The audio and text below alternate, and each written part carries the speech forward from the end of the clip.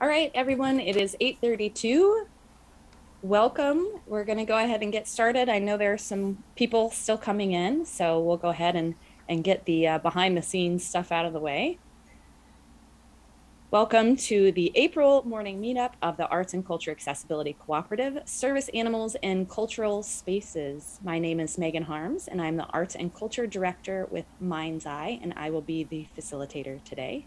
And I am a white woman in my early 40s with long gray hair.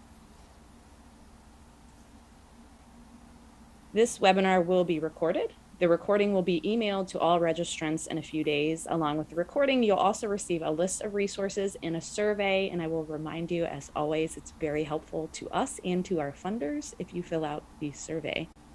The video will also be made available on MindsEye's YouTube channel.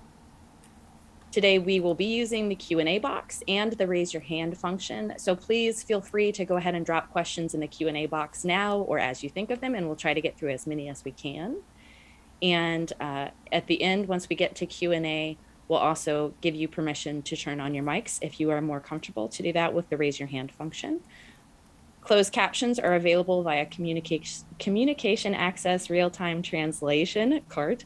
Uh, just select the CC button on your bottom toolbar. We also have American Sign Language interpreters with us today. They are pinned and spotlighted to ensure they remain on screen throughout the entire time for the recording. You may also want to pin them yourselves to make sure they stay on screen. So their names are David and Katie. So look for them. Live audio description is also available. We're trying something new this month. Um, so in just a minute, I'll give you instructions for that. And remember that chat to everyone has been disabled. So because of its interference with uh, screen readers. So you can still chat directly with the panelists and me as the host. Um, but if you have questions, please put them in the Q&A box. And as I mentioned, please remember that you will get a survey both from through Zoom and in the email that I send out. It's the same survey. It's really helpful if you fill that out. If you aren't already a member of our Facebook group, you can find us at facebook.com slash groups slash ACACSTL. And as I mentioned, we're trying something new for audio description this month. And uh, Angela, can you drop that uh, link in the chat again? would be great. Um, instead of using the interpretation tool for, through Zoom, which I know some of you know is, is not um, the greatest or the easiest, we're using a service called Live Voice. We're still using our MindsEye Describer, and today that's Sarah. And so she's live in here with her cat, and she's describing.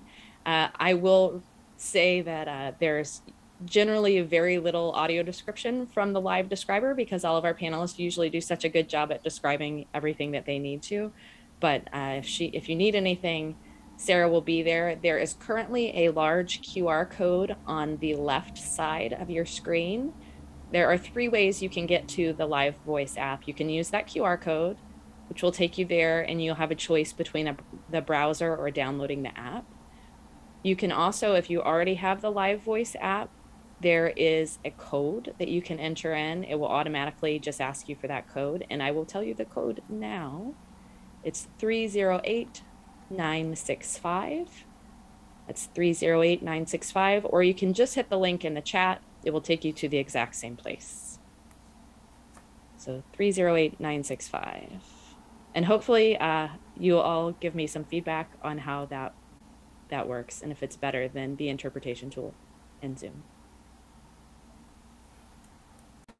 We would like to acknowledge that MindsEye is located in Belleville, Illinois, the ancestral lands of many people, including the tribes commonly known as the Sioux, Quapaw, Myaamia, Osage, Kaskaskia, and Kickapoo.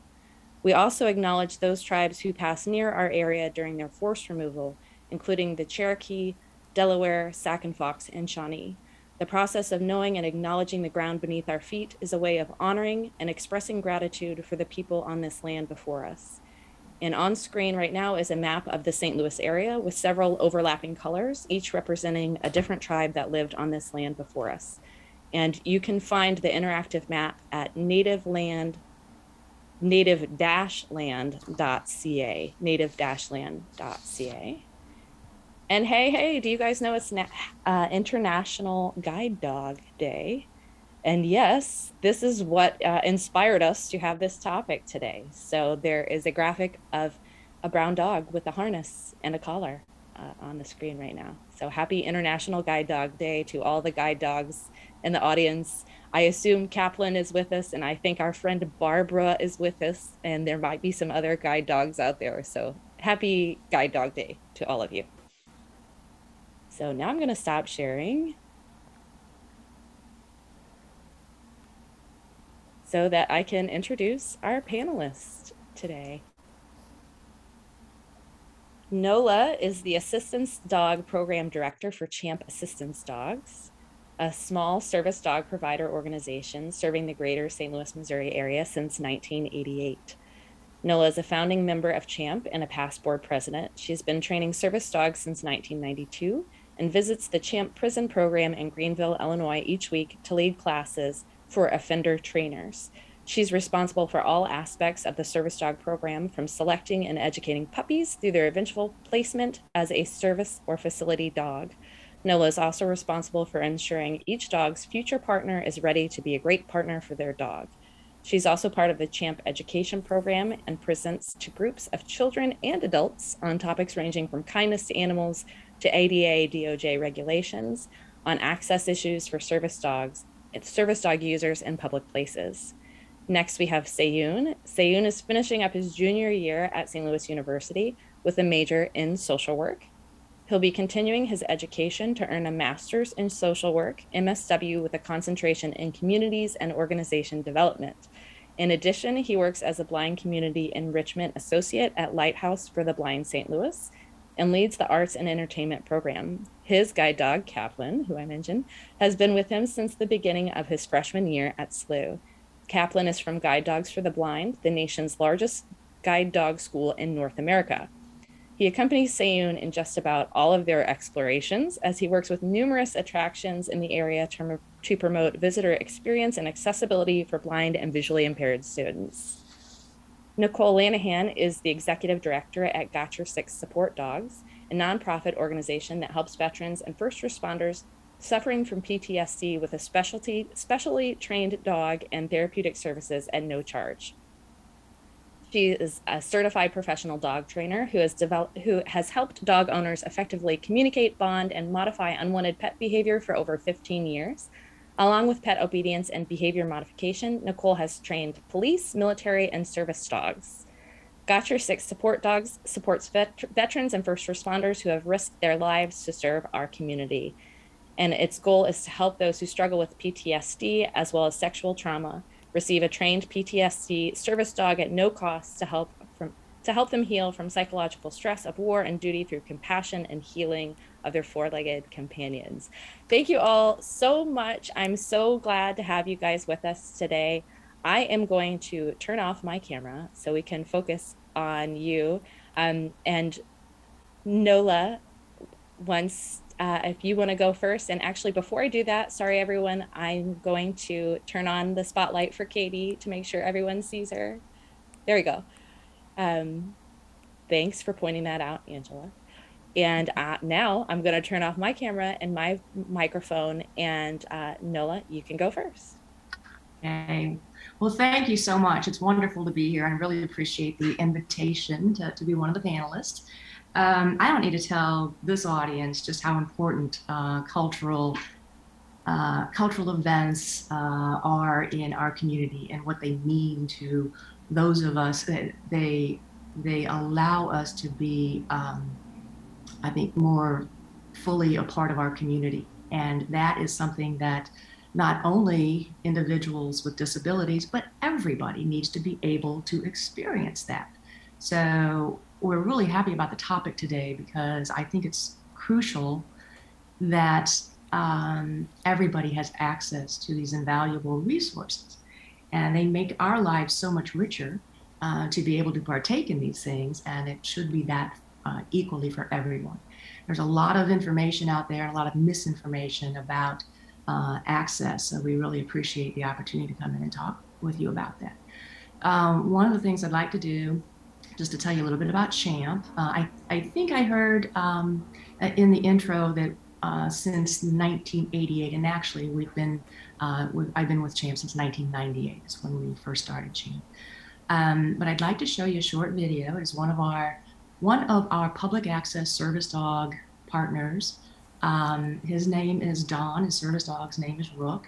They did not do a lot out in public over the last couple of years, obviously, but um, uh, they, I think the video really shows the bond. And quite honestly, that's one of the things that we love at Champ. It's not just that we are able to uh, provide service dogs that can help you know um, assist someone with the tasks that they need during their daily lives but also that bond is phenomenal. And i think you'll see some of that when uh, when you watch the video with don and rook.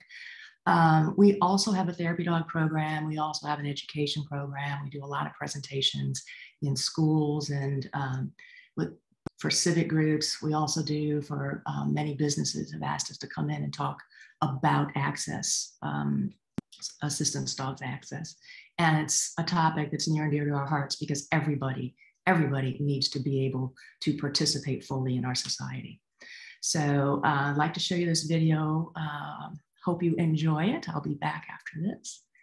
See if we can get this going. So this, whoops, I believe I need to share my screen first. There we go. And here, and share. Okay.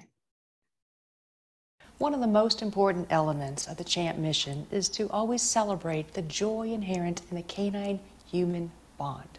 You'll see what we're talking about in this next segment featuring Don and public access service dog Rook.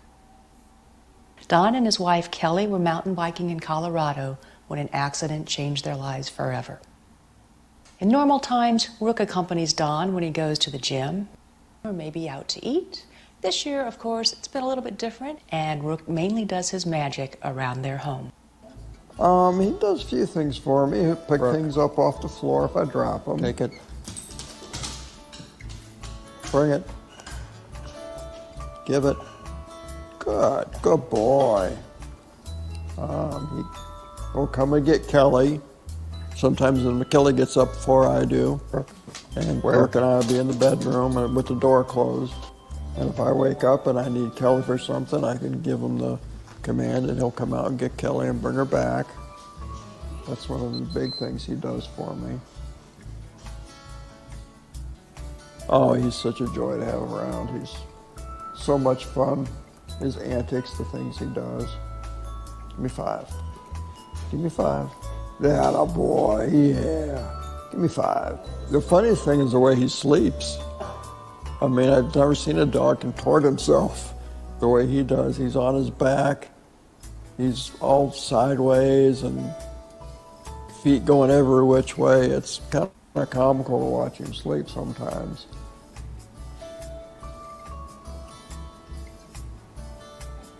Yeah, he gets his core work in. Yeah, he is very attentive. All I have to do is call his name. He gave me sound asleep over there. And when I call his name, he just pops up immediately and just is attentive and, okay, what's going on? Yeah, I, I sometimes get bad spasms or I cry out in pain from doing that.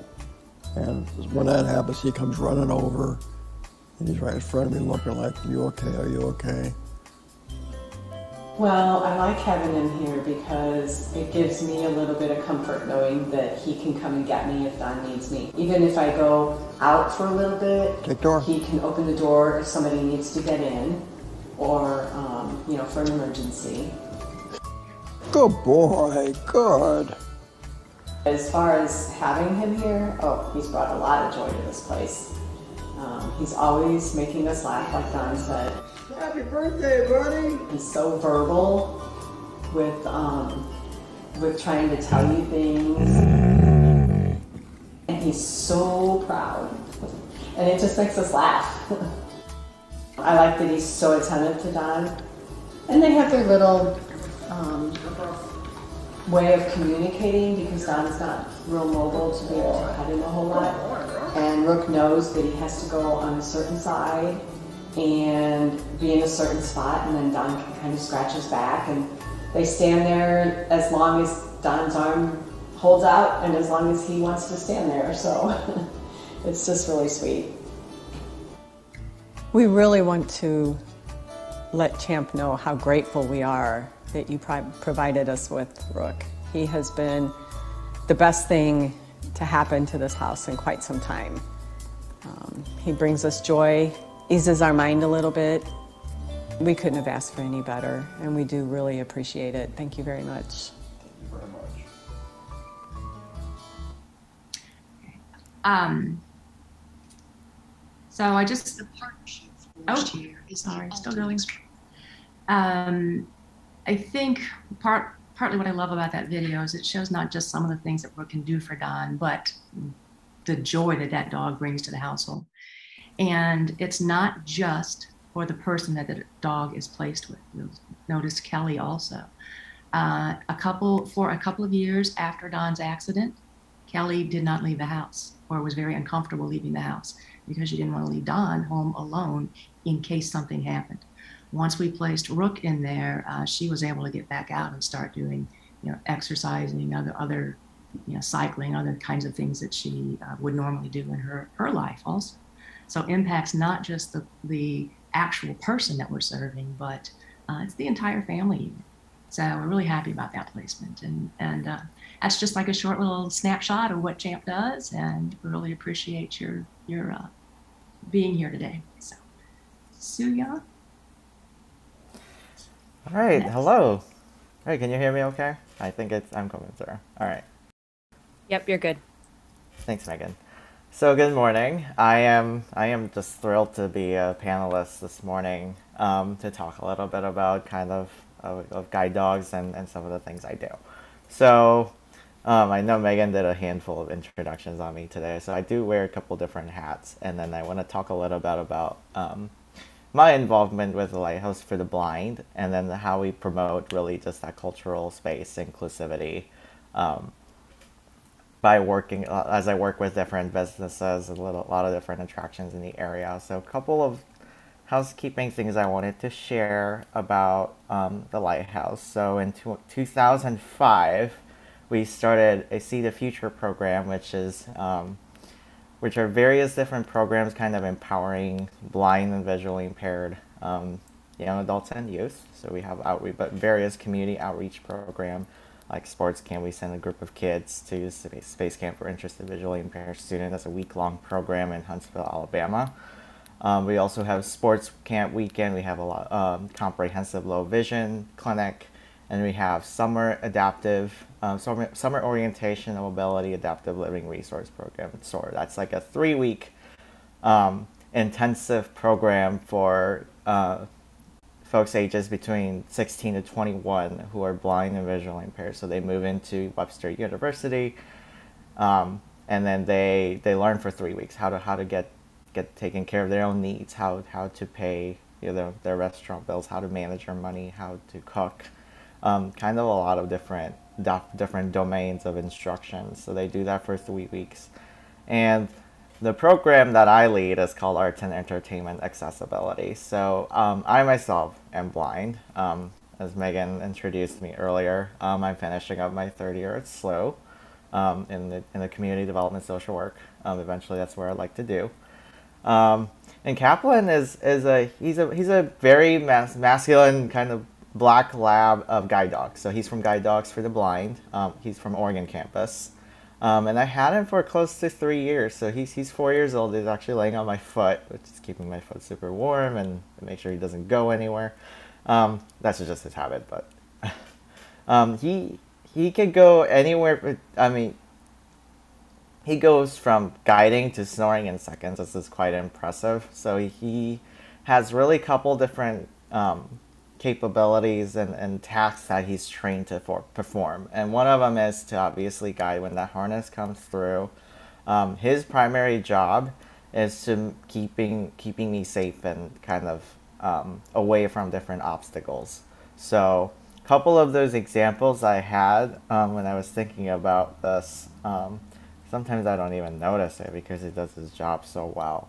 So he, he's really responsible for for um, keeping me away from like different uh, like different obstacles that pops up in our walkway.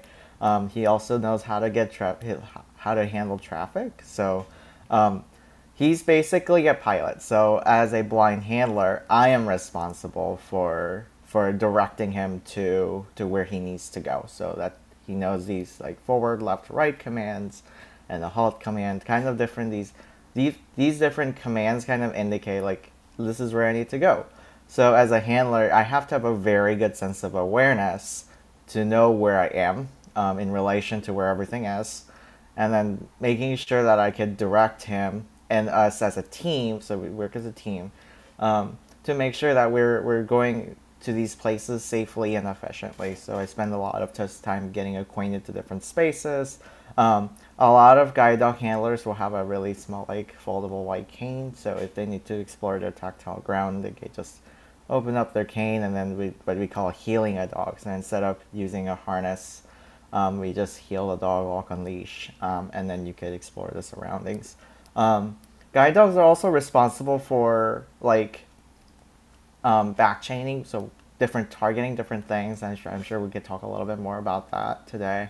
Um, but being able to find a chair, being able to find find tables, countertops, so that that makes our travel super duper efficient. Now I, so with with the Lighthouse for the Blind, I, I travel to different places. So I I as as we kind of move beyond like this this post pandemic era, um, I'm really looking forward to traveling to more places with him. Um, and basically, I, I, I seek the guide dog option. I've tried it um, at a summer experience program a couple years ago, and I was like, this is this is so efficient. Like, why have a cane and try to try to navigate different obstacles myself? Um, so we we give different analogies for that. So kind of canes is almost like you navigate the obstacles and, and locate them, whereas the guide dog kind of keeps um, keeps you away from the obstacles. So that that's just been super efficient and super super uh, quick too. So be- because you don't have to spend time navigating through different obstacles. So he it's basically I, I like I put my life in his hands. So it's it's quite I guess I guess hands is not the right word. It would be the paws, right? um, so basically, that's what he's in charge of, um, and then he just makes navigating through college environment super super efficient. And I'm sure um, with many places I'll get to poke out this summer and beyond, um, we make sure that that we could we can access these places with him. So that's that's basically what I got. So I think who is next? Thanks, Seyoon. Nicole, you're up next. Good morning, everyone. My name is Nicole Lanahan. I am, I'm going to follow the previous lead. I'm 42 years old, female, uh, brown hair. It's really gray, but I've dyed it brown.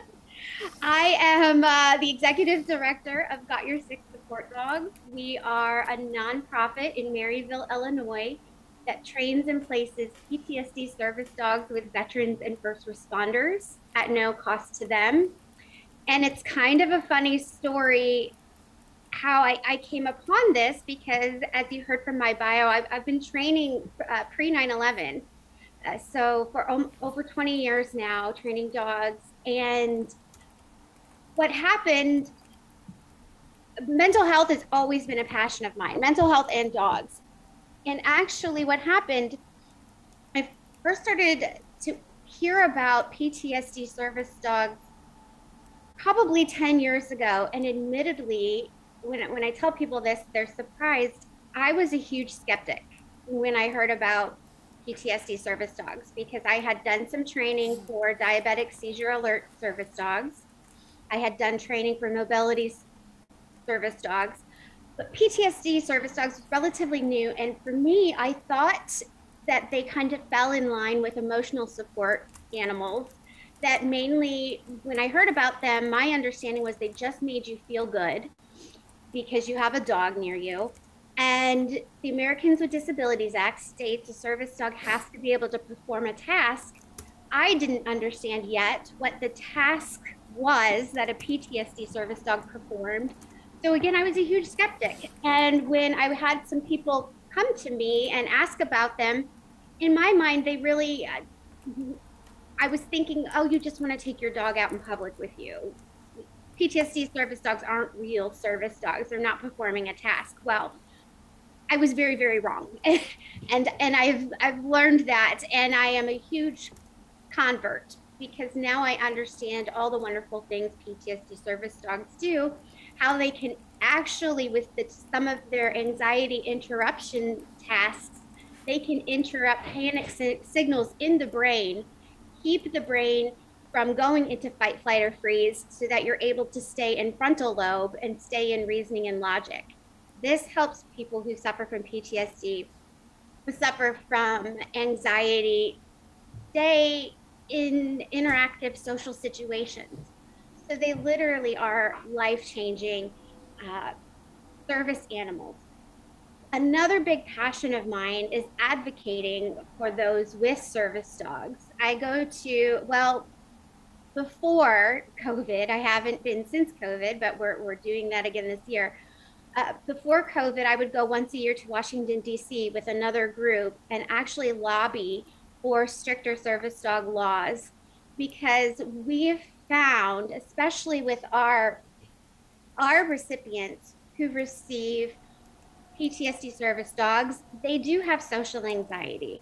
And when you're confronted with somebody in a social situation that's telling you, no, you cannot come in this facility, no, you cannot come in this venue, you cannot come in this restaurant with this pet, and then now there's an altercation, this exasperates the situation, makes makes somebody who's in recovery not want to go back out again. So it actually can set back this kind of situation can set back PTSD recovery, anxiety recovery, after they've had this negative situation. We've also had situations where some of our recipients encounter uh, a fake service dog that has attacked their dog out in public.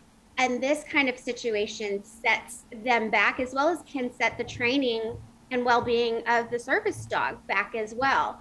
So, again, I'm, I'm a huge advocate for trained service animals uh, and public awareness because regardless of, of why you need a service dog, it's important that nobody's that the public is educated on the, their importance, their your your access rights, as well as keeping the untrained dogs out and keeping the non-service dogs out of public access.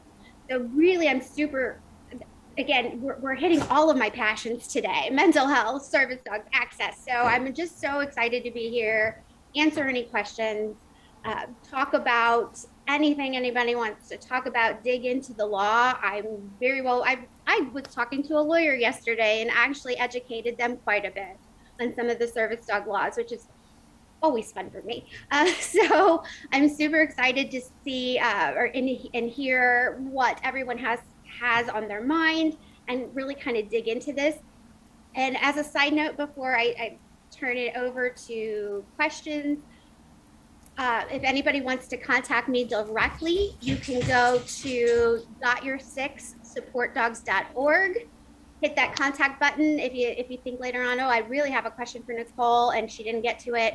Just contact me there, and I'm happy to answer. But I'm I'm ready for what what you and I'm sure all the other panelists are ready for what you want to know, uh, what what your questions are. Excellent. Thank you so much, Nicole. Um, when I I read on, I guess probably on the Got Your Six website or maybe on the Facebook page that you were originally a skeptic um, about it, I I was so glad to read exactly the process that you took that you just explained to us, like why you why you thought the way you did and the science behind it that made you change your mind and made you understand these are not emotional support dogs and you know what? There are plenty of emotional support dogs out there that do lovely work. Um, but today we're talking about service animals. and um, so I was really glad to hear um, exact because I think a lot of people think the same thing and people don't understand that there are PTSD service animals that they are not there are people that have emo- emotional support dogs but there are service animals and we are going to in just a minute we're going to go through um, some slides about the law. But before we do that, I wanted to ask kind of a, a general question for all you, all of you about the task, the specific tasks that some of the service dogs will do.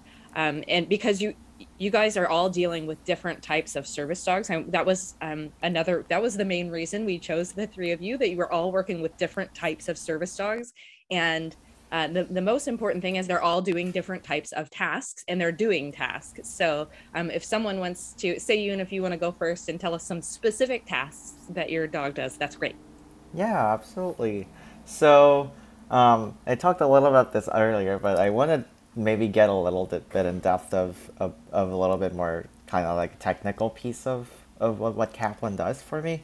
So um, when we're out and about, his harness stays on. So that is almost like I call it a driver's license equivalent that allows him to make sure that that like he's in working mode. So he knows when that harness comes on. Um, when he was a puppy, actually, um, so these dogs are puppies are, are bred in house um, to specifically become guide dogs. Now, not, not all dogs make it. About only 50% of them actually make it through the entire training program. So once they're born, they are exposed to a lot of different elements to see how they how, how they can handle how, how they adapt. Um, um, and then once they're once they're comfortable in that environment, they really thrive in that environment. They're home to um, many many puppy raisers that volunteer for guide dogs for the blind. So he uh, Kaplan was um, his puppy raiser's 13th puppy. So she she had quite a bit of experience raising puppies for guide dogs. Um, and she's he spent about a year um, at her house basically getting socialized and getting his puppy jacket on. There's lots and lots of just adorable pictures that she she got for me, um, which is just quite incredible. Um, she took him to schools. Um, different different public places. Um, he also slept in Costco boxes, which I think is just just awesome. So he, he had a lot of social exposure exposure to be, from from the very beginning because he was already, I mean, he's shown a lot of initiative as a puppy too, and and he really enjoyed and thrived in this environment. And a lot of working dogs really love what they do. I mean, there is a really really weird misconception that um, service animals are, are inherently not ethical um, in, in the animal rights space. I've heard that from several people while I was walking out and about going about my day and then you're like and some folks came up to me and, and said why why are you working this dog? This dog doesn't deserve this. And I said that he really enjoys what he does. You could you could just tell by, by his, his his drive and his, his energy. Um, he, he, I think he enjoys it way more than some, some pets that just sit at home.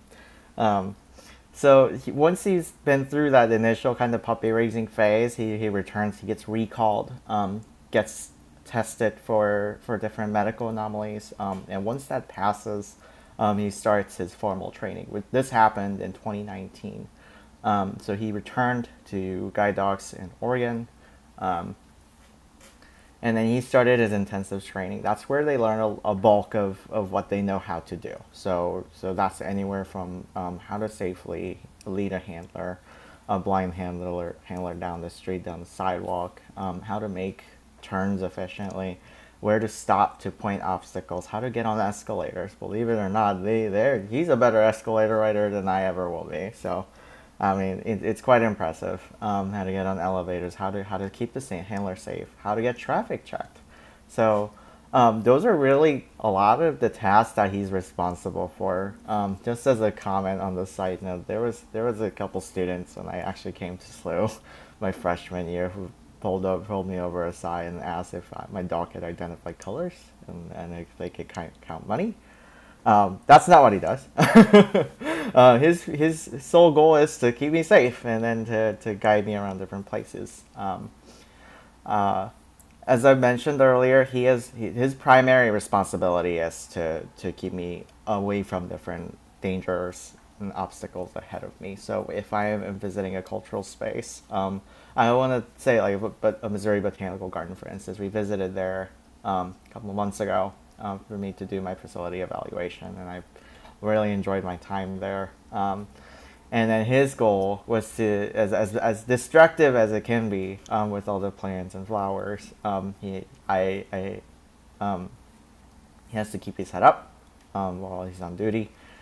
Keep me on a straight path. Follow the curvature of the path if there are any. If there was something like moving elements that that warrants my attention, he would send us to stop for a second so I can reach out and touch and see what is going on. He's supposed to stop at the top or the bottom of the staircase or at the curb cut. So before he we actually cross the street, he always stops at the curve um, to indicate that we reached the end of the block, um, which is super helpful when I'm walking around here at SLU's campus, um, the North Campus, um, where it's very pedestrian friendly. And then, you, yes, I can feel the um, truncated domes under my foot to indicate that we're about to cross the street. But he'll also make that stop right at the curb cut, and we use our foot to to feel where the curb cut is, so we don't like step out on the streets. Um, and we also work a lot on like targeting as well and back chaining. So if I want him to find the same door to a class all the time, every time, this is where a guide dog really plays in a huge advantage. Um, um, I can just work on that with like a food reward. We use that quite a lot, and I have a clicker that's like basically it's a marker. It's a verbal, um, audible marker that that a lot of guide dog handlers use, and actually guide dog training schools use to indicate like uh, I'm gonna touch the door and I'm gonna have you find it. So we, I literally put the hand on one, one hand on my door and I click with my other hand, and then I'd feed him just to kind of reinforce that behavior. And then we start adding distances, and then it, like this whole the whole back chaining process takes about two minutes. So we try to keep that very short and condensed because if it's too long, um, the dog kind of loses focus and gets really bored. Um, Kaplan really enjoys um, back chaining work. Um, and now he's able to find just about all my classes once I am near to the proximity.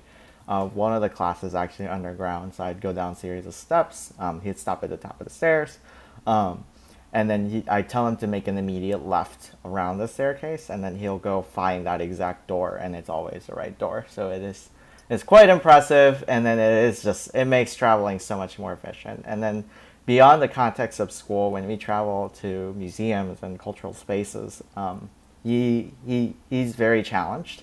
He likes tra- traveling new places more than this familiar old routes. Um, so when we're visiting out of town or, or even new places around the area, um, he just thrives in the new environment. So much to see, so much to hear, so much to just sniff, and then he, he is very engaged in his task as long as I'm holding the harness. And when that comes off, he's he's no different than a pet. I mean, he, he can get petted. He he will he will jump on you even occasionally, and and he'll go around and lick people lick people's feet and and do all these uh, puppyish behavior um, to this day.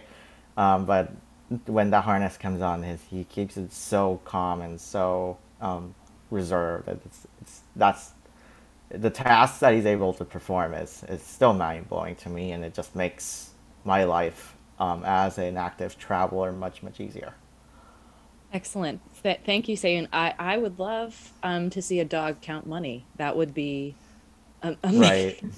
amazing. No, that'd be quite amazing. Nola, I think you wanted to um, add something. Uh, uh, about Champ, uh, yes, we train service dogs uh, that work with people who have disabilities other than uh, vision or hearing impairments. Um, a lot of our dogs will do tasks like retrieve items for their person. Uh, you saw in the video uh, where Rook went to find, uh, we have a, a, where command where they will go and find another person in the home. Um, and we have a, an emergency 911 retrieve the dog. If a person needs it, the dog will run and, find the phone. Um, so a lot of things like that just to, to help their partners out and turn lights off and on. It's, we do train, we're a small group and we train specifically for what a particular individual needs. All of our dogs have a basic set of skills, which includes retrieves and you know walking nicely and all that kind of stuff. Um, and then we train specifically for what a particular person needs. Um, we don't have a kennel. Uh, we never wanted one. All of our dogs live with their handlers. Uh, we have puppy raisers in the St. Louis area. Uh, they come to our office for individual classes once or twice a week. uh, one person comes three times a week. for individual classes, they, we also have uh, group classes in addition, and we have a prison program that we're working with. Um, currently, it's Greenville, Illinois. It's a federal correction facility. Uh, previously, for almost 19 years, we were in a women's prison here in the state of Missouri, Missouri Department of Corrections. But they kind of repurposed that prison, and um, unfortunately, we lost our prison program there. So we've recently started at Greenville. We're getting those ladies up to speed. So our dogs rotate between their puppy raisers in the St. Louis area and the prison um, program. So it's going really well. Uh, typically, we we place maybe five, seven dogs, in, seven dogs maybe in a good year. But this last couple of years have been kind of odd for us, like for everybody else. Um, but yeah, that's essentially how it works. Our dogs will typically be around two years old uh, when they're placed. We do all the health clearances on the dogs. Um, and the like i said the dogs are trained individually for what a particular person's needs are we place public access dogs as well as home-based dogs so some of the individuals we work with really don't need a dog when they're out in public um, they may always be accompanied by someone um, so they may have a dog that's trained specifically to work with them around the home. So we also work with children um, children and adults. So a little bit about our program.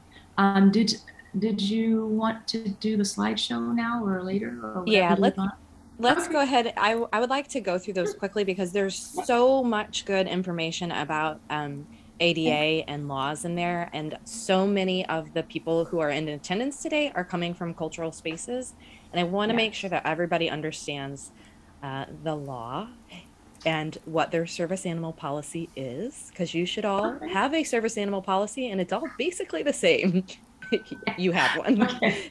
Awesome. so if you would go ahead and share the screens and and we'll do Absolutely. a very this will be obviously be a very abridged version of what Nola would do for training.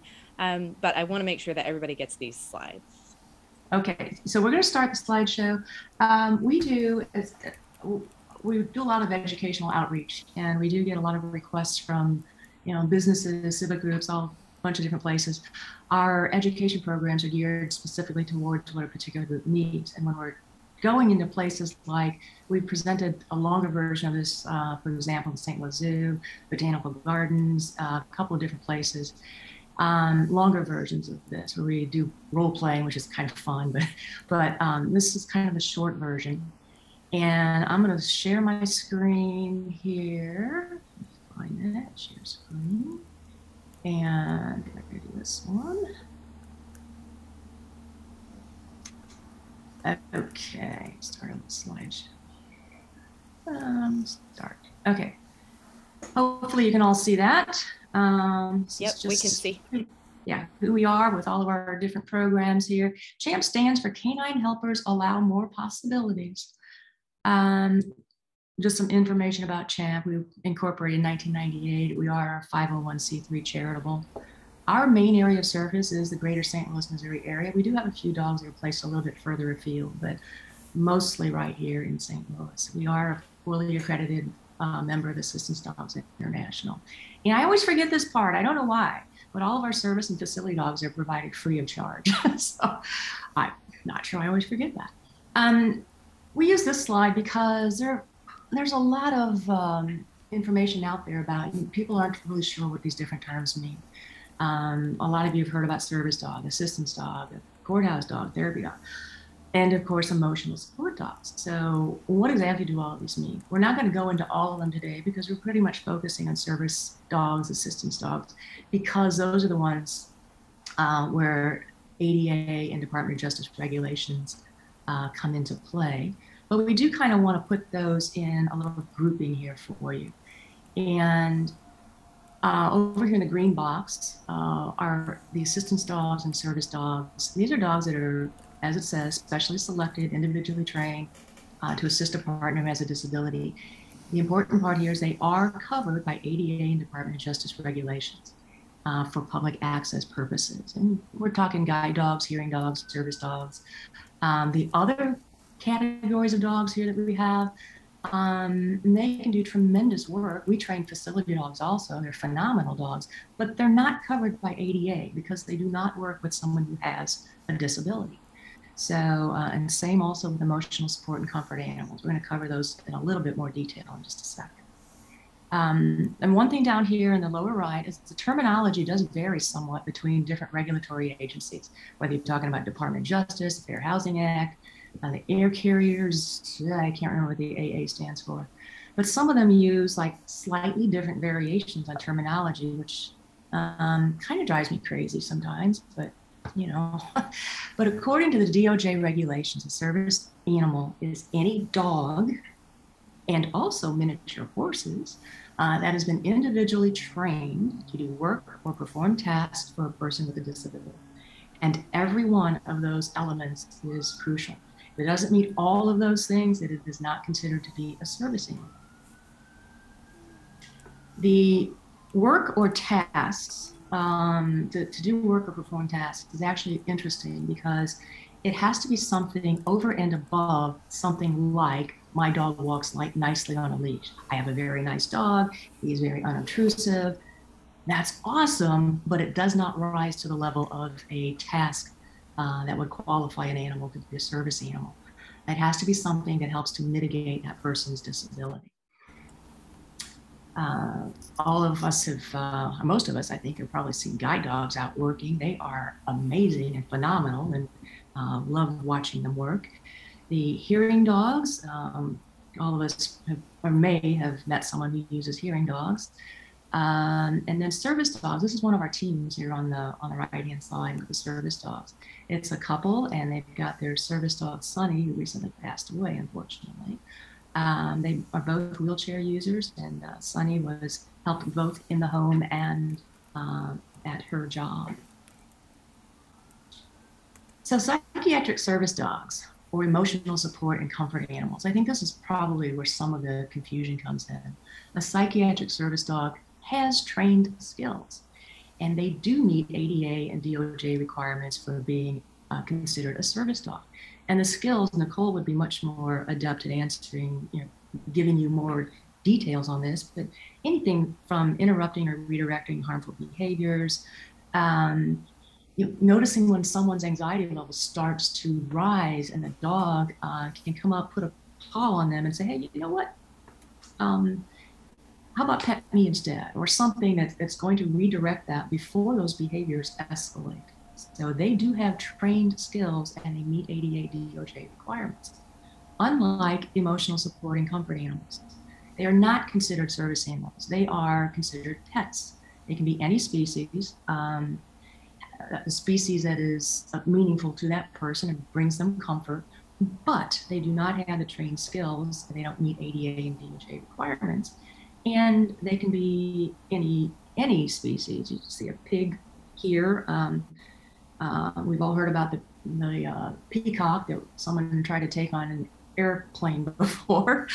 Uh, so there's they're uh, they are not covered by ADA or DHA, uh, DOJ, and there is no requirement to allow them access in public places.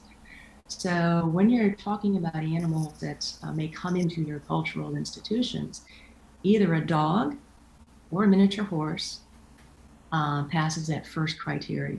Um, is this a real service dog? We got a picture here of a cute, fluffy little white dog who is um, in a cute little black and pink, like a pocket purse kind of a thing, a po- pocket puppy.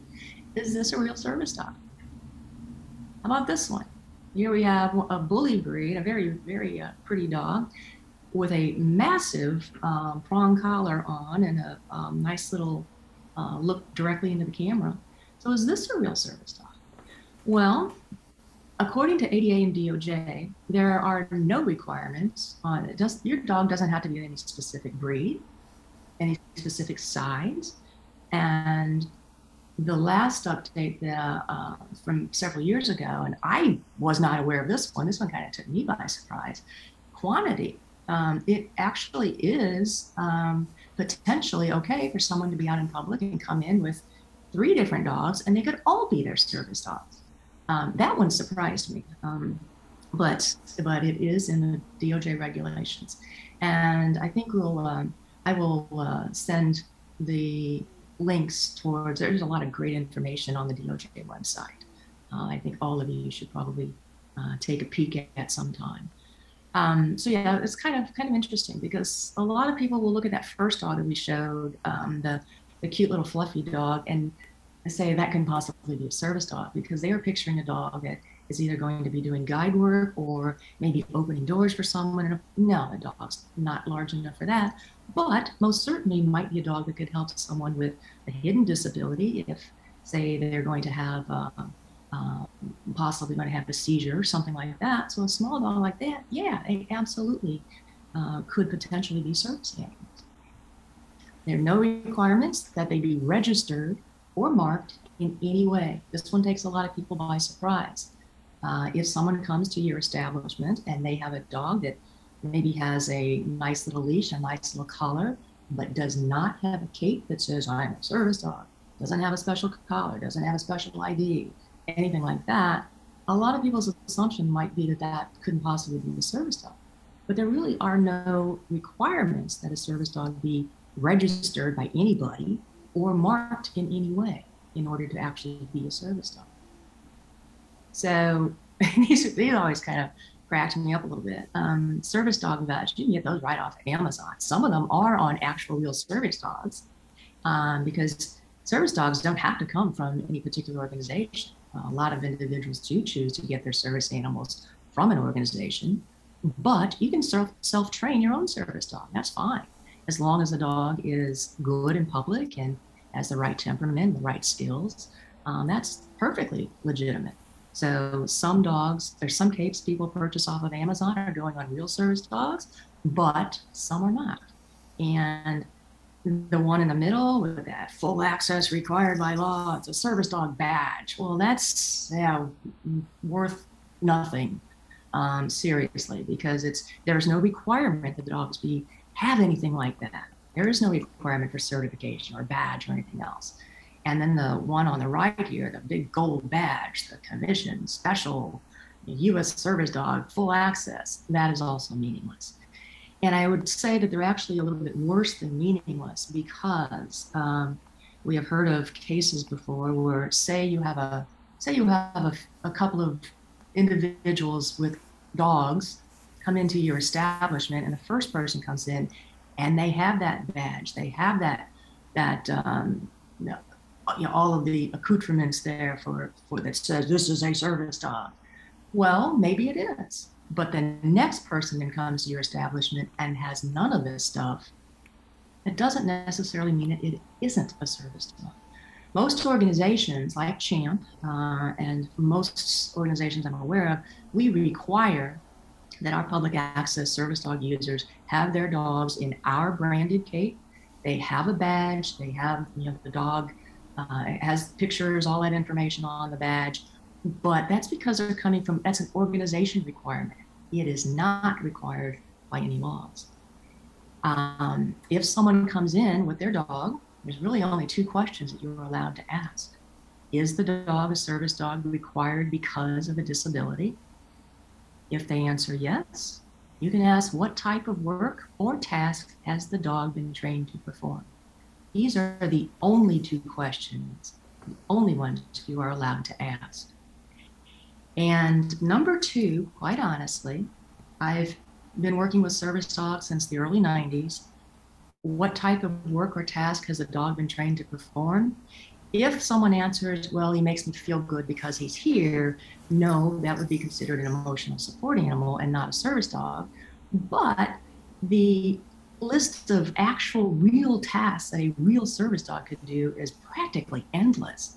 I would have to think pretty hard if someone gave me some answers on you know, what might be um, uh, a task their dog's been trained to perform. I'd actually have to think pretty hard about some of them. Is, is that serious? Really? Um, because the, the list of skills is really quite extensive. So it's not as simple as my dog retrieves things when I drop them it could be a wide, wide range. Um, and just as important about as the questions, the two questions you are allowed to ask are things that you cannot ask. You can't ask about someone's disability. It's none of your business, none of my business. You can't ask uh, for, re- for any kind of medical documentation. Again, nobody's business. You can't require any training documentation or certification for the dog. It's not required. And you can't ask that the dog demonstrate the skills. They have to be able to tell you what their dog can do or what tasks the dogs can do, but you can't ask they demonstrate. And this all falls under privacy. It's it's really it's none of our business uh, what someone's disability might be. Um, so kind of interesting. So a few things to remember: that person with a disability has the right to have their service dog with them. The dog itself has no rights to be anywhere, but that person who has a disability is able to have their dog with them. We're talking about public access places. It doesn't apply everywhere. And there's information in the, the DOJ uh, regulations that are, give you more specific insight into exactly where and uh, what's considered a public place and stuff like that. Um, they can't be treated any differently than anybody else. So if they come into your restaurant, they come into your facility, you can't say, oh, you have to go over there because you have a dog. You can't do that. It's, it's not allowed. Uh, you may exclude service dogs from limited specific locations where the simple fact that it's a dog is the issue.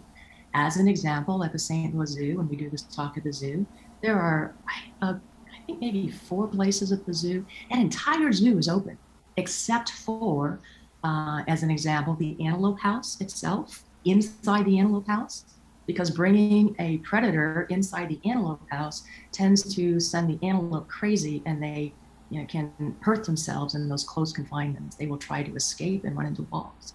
So there, it's a clear, no, you can't have a dog because. So um, it's it's you know it's possible that there are some areas where you wouldn't have a dog, but it has to be a real reason. You also can't have a dog in the hospital uh, in a burn unit. There's the infection issue, so stuff like that. But they are few and they are quite limited. You may and should require a service dog user to remove their dog if the dog's out of control. The dog is um, having, you know, accidents or is growling at or any inappropriate behavior towards other people, you're concerned about health and safety, absolutely you can ask that they remove their dog. But um, it's the dog. You you can invite them to return without their dog, but but their dog is the one that can't allow in. Assistance dogs in training. This is a topic that really isn't covered by Department of Justice regulations. However, um, each of the individual states has their own um, like puppy laws or, or trainer access laws um, because um, prior to these coming into effect it's like we had to beg for uh, uh, access to take our dogs out when we were training with our dogs uh, everybody thought, I guess, the dogs, service dogs just magically appeared when they knew how to behave out in public. And they were two years old, they're ready to be placed, boom, they're, they're fantastic. When reality is that dogs have to be socialized to all of this kind of stuff. So we start with puppies, as most organizations do, to get them comfortable and um, uh, just behaving well out in public. And I think both Missouri and Illinois have pretty good trainers laws where our dogs can essentially go pretty much anywhere that an actual working service dog can go. Service dog etiquette, we always do cover this very briefly. Um, if you meet someone who's working with a service dog out in public, please help the dog be successful. Um, speak to the person, not the dog. Um, a lot of people, if they have time, would love to tell you a little bit about their dogs, but please don't distract the dog. That includes don't use the dog's name if you know it. Please don't touch them.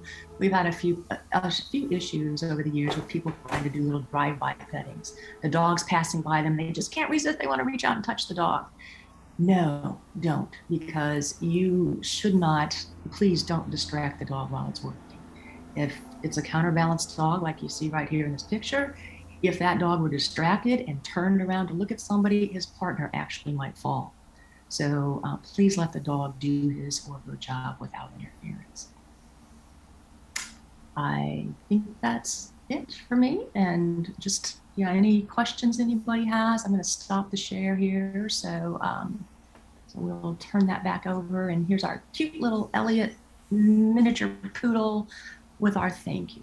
But let me stop this right Thank you, Nola. There's so much great information in there. And I think so much of this applies to cultural space. Well, all of it, all of it applies to cultural spaces. All of it applies to everything. Um, but the, the things that I want to point out are the, the two questions. Remember, there, those are the only two questions that you can ask when someone walks in the building. And honestly, I think most places would just be asking the first question Is this a service dog that performs a task? a specific task. Um, and here's something that we run into a lot. it's really great that everyone who is participating today, who is here at this webinar, they know these rules. But does the person at the front door, does the usher that only works every fourth Wednesday, does the security guard who it's you know not their regular day does the very first person who is the person that would first meet this dog understand these rules and these laws. Um, because oftentimes I will ask someone, What's your service animal policy? And I'll get a blank stare, or I'll say, Oh, yeah, yeah, of course, service animals, great, okay. Um, but also that look of panic of, Yes, we obviously do have a service animal policy. I just don't know what it is. So, all of you, that's your policy. Service animals are welcome.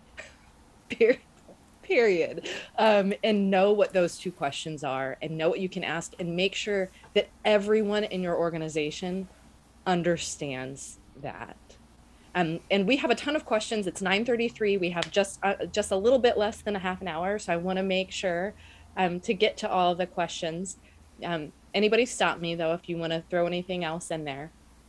Just um, throw something out real quick yes, about please. where service dogs can't go. Yes please. Uh, just just because there are while there are allowed so many places which is wonderful there are a couple places where they cannot go. So anywhere that is a sanitary environment such as the icu in the hospital anywhere where there's going to be surgery performed while service dogs can accompany you to, to let's say the, the doctor anywhere where they need a, a sterile environment.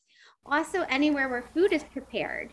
So you can i know there is some maybe maybe nola you know this better. I um, you can go to a restaurant with your dogs but my understanding is you cannot go up to like a buffet where the food is actually being prepared. I don't know. Somebody, somebody actually, I, I can tell you that answer shortly because that is actually on a, a list that I have here. It was a frequently asked question. So as we keep going, I will I will look that one up because I have a, and it's an ADA um, frequently asked question that, specifically a, about buffets. A tricky one. I know. I know for me, uh, churches are allowed to an, another, let's say, like a fraternal club, are allowed to set their own rules. I belong to a church, and they and they welcome service dogs with open arms. I've been to another church where that where we were welcome as well, but they asked that the dog didn't come up to for communion unfortunately that with with the the person um, that is their right um unfortunately uh but what I've always found is that most churches are more more than welcoming, but I like to myself just give a little heads up, especially if I have a service dog in training that that I'm coming, just so they're not taken aback. And if and um, usually it's it's not not an issue. Uh, airlines have their own kind of different sets of rules and it's a wonderful thing that they're actually changing them now and becoming so that those with service dogs are, are safer now because of those rules so i always suggest to even our own recipients before any flight make sure you get on that particular airline's website fill out they all have their their own different mm-hmm. requirements now um, and and check those out as well. So that's that's all I have to say about that. I have hey, an answer. I have I an have answer an about an... the buffet. Yeah, oh. I did too. okay, go ahead, Seyoon. um, so I think we might be on the same page about this, but because there are like because the public. Well, so basically, I'm summing up from what what I understood from ADA and from my own experiences.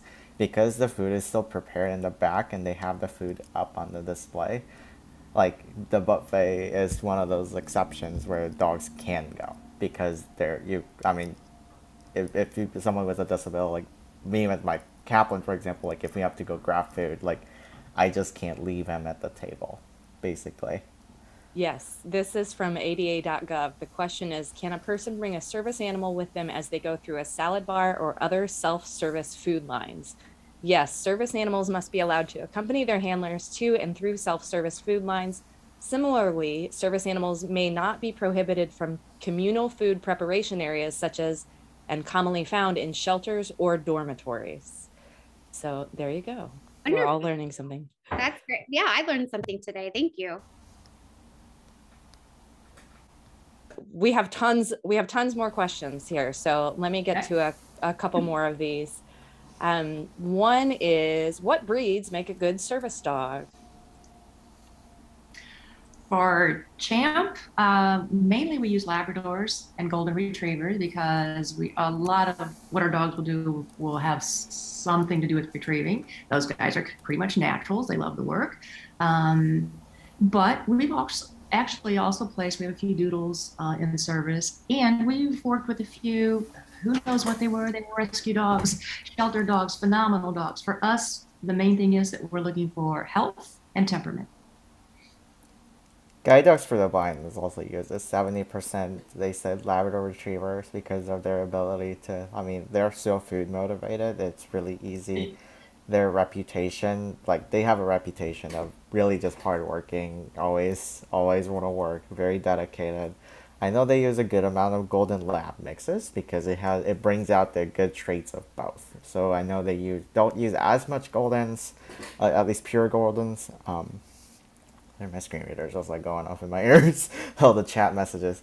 Um, and then I know there are a few schools that uses German Shepherd. So actually, Seeing Eye, um, they're based out of Morristown, New Jersey. Um, that's the oldest and the first guy like major um, guide dog school that was founded in 1939. So they and they were originally actually guide dogs were actually started with blind veterans. Um, so um, when they came back from the war and then they were they became blind, there were there were a lot of lots and lots of German Shepherd dogs that, that accompanied them and they saw an instinct to whatever reason care for them. So that that's how the, the whole thing started. But I know German Shepherds are still used. It's just harder for for German Shepherds these days to, to be trained as intensively. So I know it, it's like more like case by case basis now, but mostly labs and goldens and lab golden mixes. I know there are poodles as well. There are a few schools I've heard of. My friend has a poodle. She's she lives in Nevada, um, and then because of her her allergy, um, she's a poodle guide dog handler. So there are a few schools that do that. i was going to throw out the poodles those are those are full size tall Yes. poodles and Mhm, for those of you who have seen a poodle service dog it i don't know every time i see one i am taking pictures and going crazy because it's just something you don't see all that often um, and also the poodles I, are just funny so yeah Mhm. Nicole go ahead I muted myself. I'm sorry. We are the same. We so our organization has been around since 2015, and I did a study on all of our dogs that have come through our program last year and crunched the numbers. And we have had the highest success rate with our Labradors and our Golden. So that's mainly what we use. But like you said, with allergies, half of our dogs for 2023 that we're already training are poodles. Oh, there, there's my Malinois. He's not a service dog. I apologize, but uh, um, we we've been using more and more poodles. They've been wonderful, smart, and good good for families with with allergies. Great. I have a really great specific question from Sarah. How should event hosts handle competing ADA concerns? For example, a guest with a service dog and a guest with a severe dog allergy wanting to attend the same event in a space that doesn't allow separation. Don't everybody jump on that at once. I see that. Yeah, I think it's a great question. Quite honestly, I don't really know the answer. I know that ADA does not, as far as a service dog, um, someone having a having an allergy to the dog um, does not preclude that person from being able to come to the event with Yeah. their service dog. I don't really know if there's not enough room for separation. Our typical would be to encourage them to find a way for some separation. Um, but if you're truly saying that they're all going to be together in a closet-sized space, I don't know what the answer to that might be. I don't know if Nicole has had that issue or. Um, I've, had it several times come up, and I can tell you how it was handled.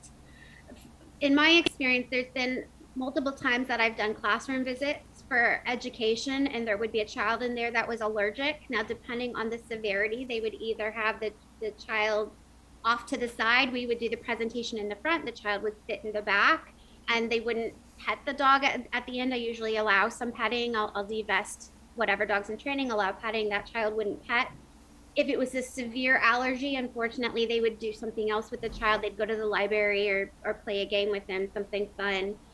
We've gone to a conference and brought service dogs in training with us.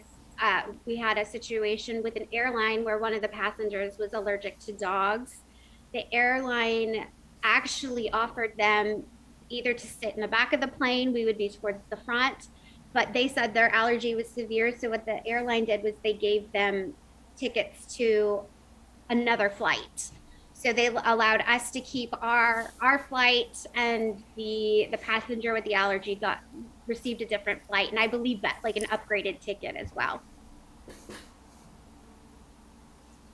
Great. I I was looking. I know that I read something about allergies somewhere, but and, and I think it is kind of what you all just said. Um, the service dog handler is takes priority there. I, I believe I could be wrong about this. I will double check.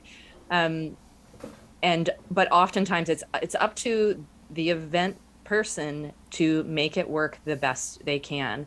And one thing I also wanted to point out that relates to this from from your slides, Nola, is that it's against the law to segregate service animals. Yes.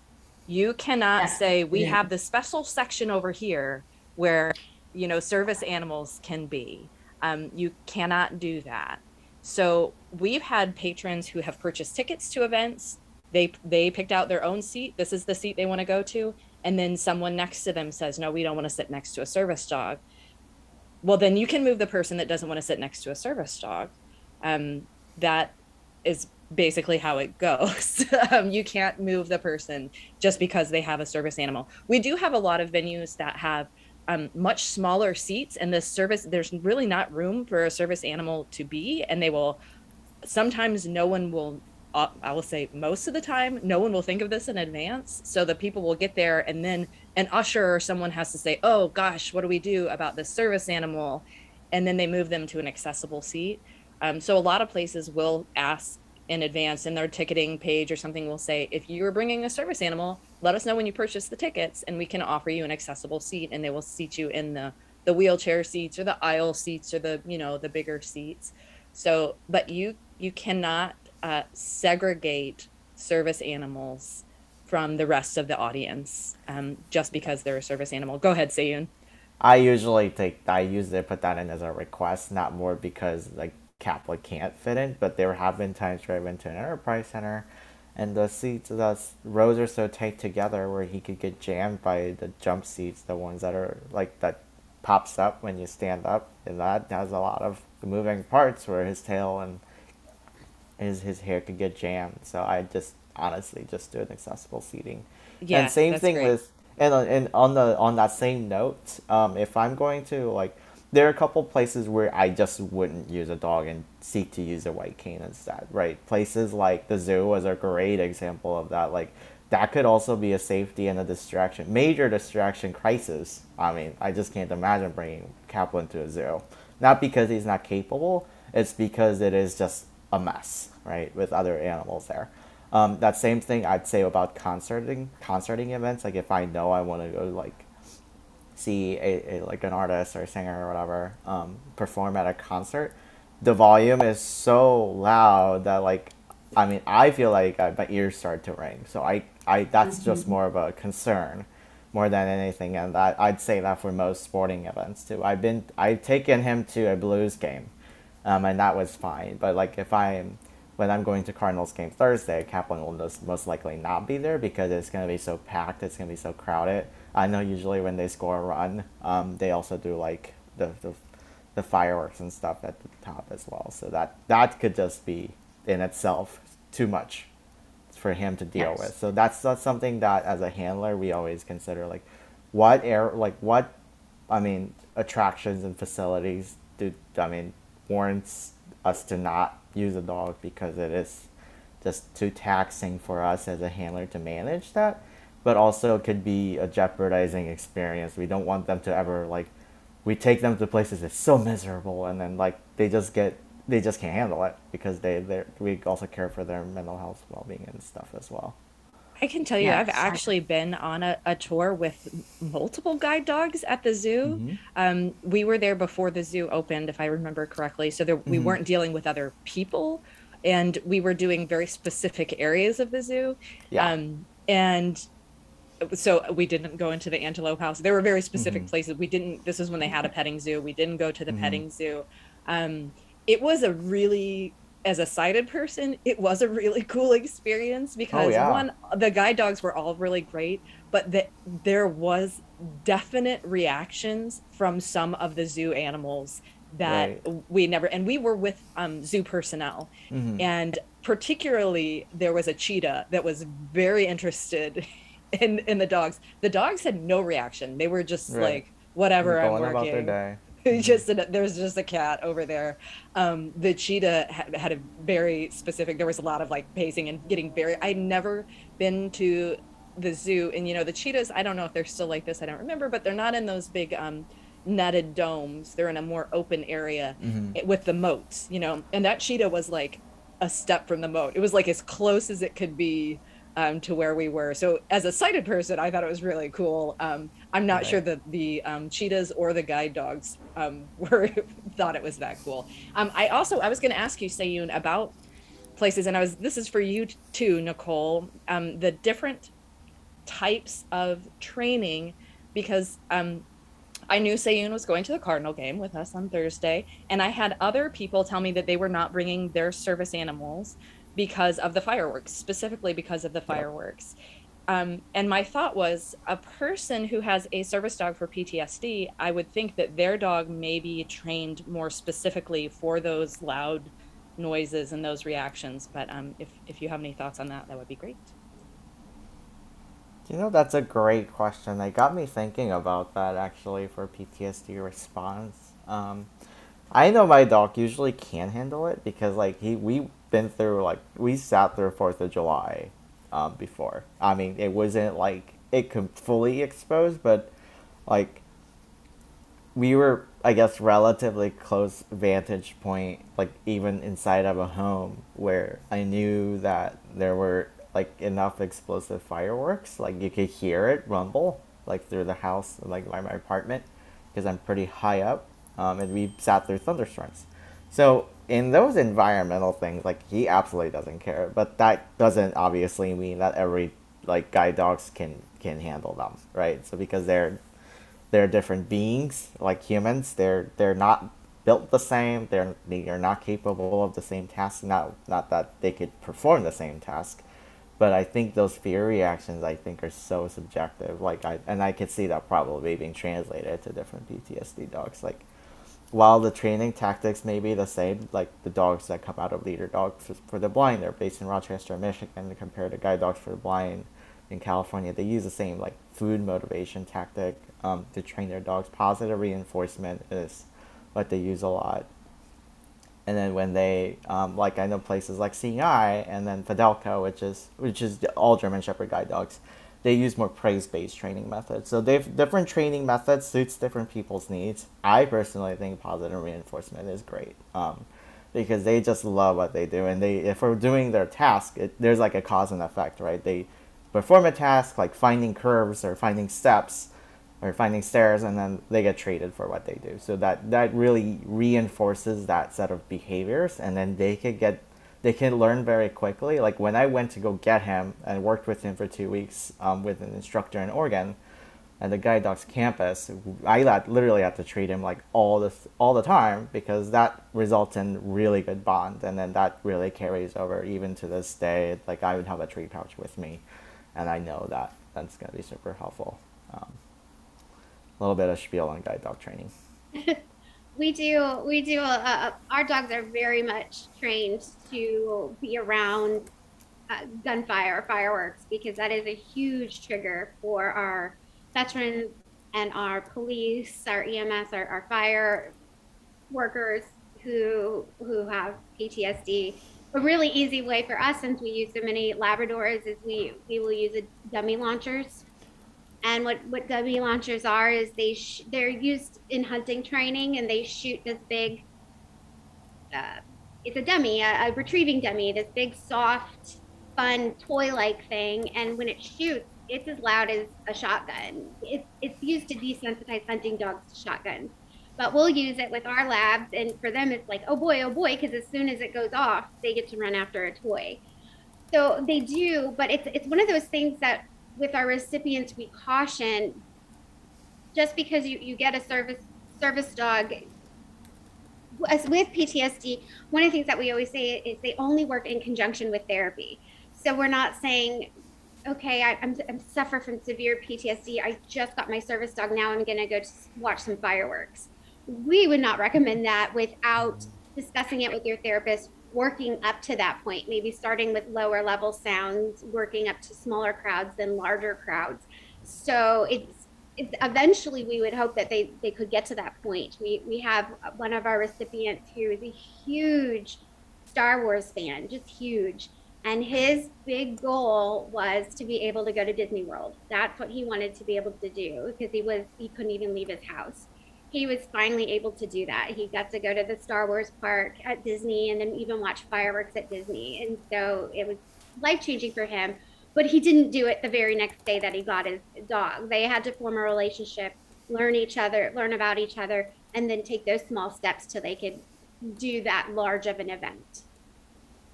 Great. Thank you. I, you know, things that you don't think of as a person who doesn't have a service dog. Um, we have just a couple a couple minutes left.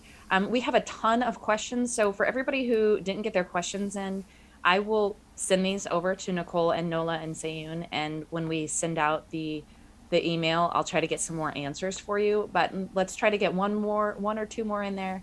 Uh, how long does it take to get a service dog?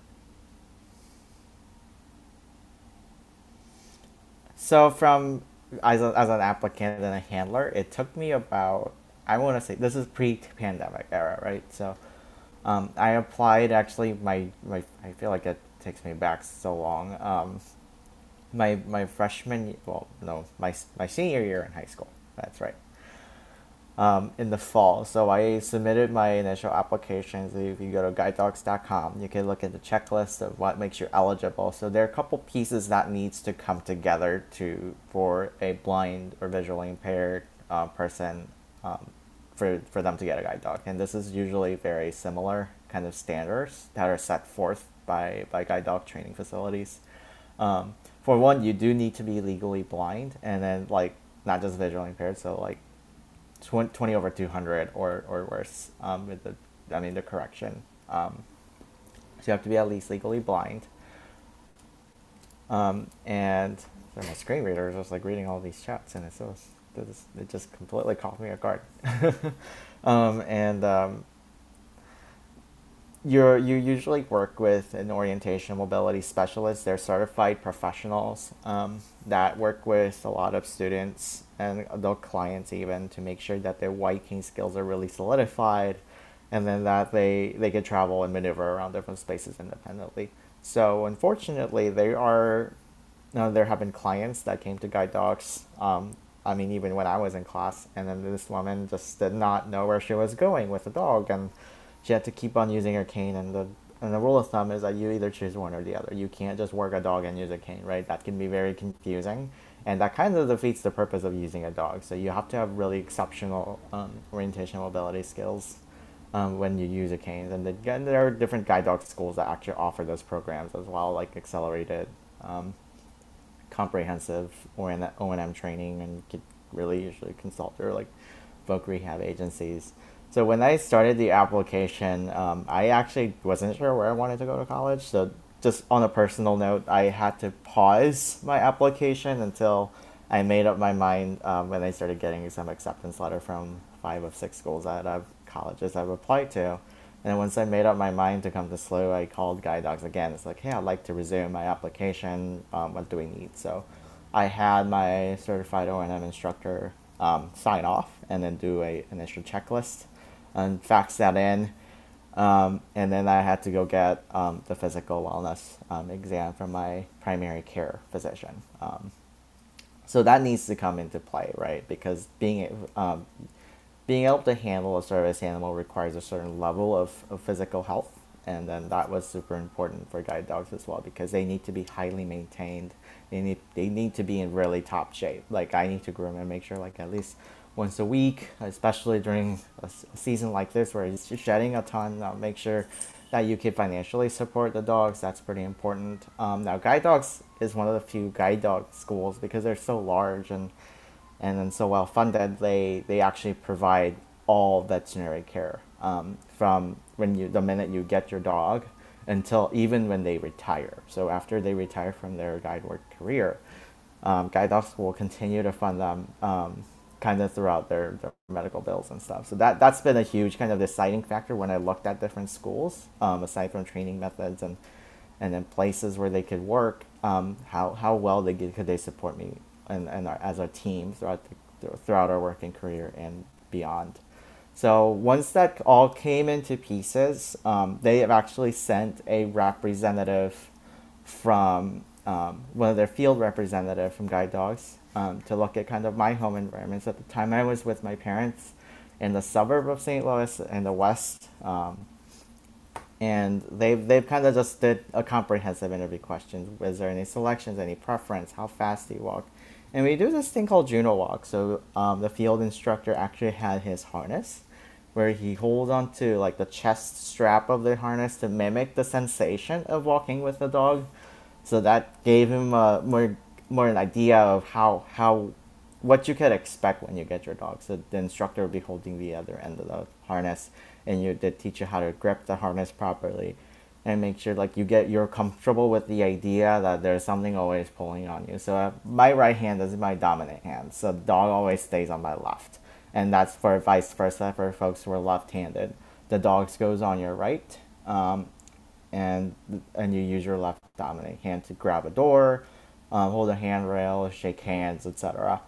Um, so once that all kind of materializes, they have a pretty good profile of of who I am as a person and what what kind of stage of life I'm in too. That's pretty important because when I when Kaplan um, eventually retires, many many years hopefully down the road from now, um, I I'm gonna be at a very different point in my life. I mean, I'm I would have been done with, with done with college, so I mean, I don't need a dog that is as agile.